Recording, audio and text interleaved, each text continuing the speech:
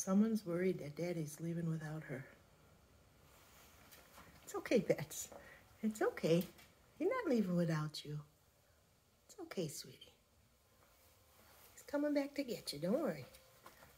He's coming back to get you. Don't worry.